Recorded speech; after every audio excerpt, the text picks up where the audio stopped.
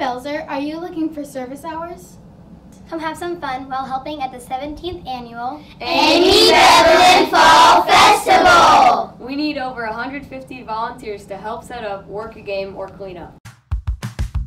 Go online to sign up. Thank you for helping.